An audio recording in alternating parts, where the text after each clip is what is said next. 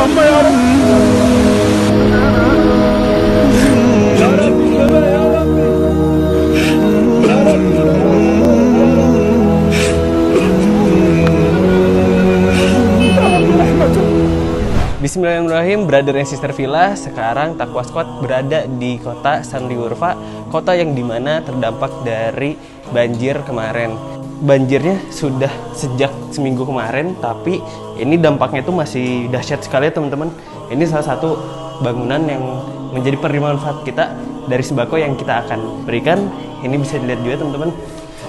Ini ada garis bekas dari banjirnya setinggi ini. Jadi kebayangkan teman-teman kalau misalkan yang anak kecil ini kelelep mereka. Insya Allah paket-paket ini akan membantu mereka di saat kala-kala di bulan suci Ramadan. Jazakumullah khairan. Barakallahu fikum. Wassalamualaikum warahmatullahi wabarakatuh.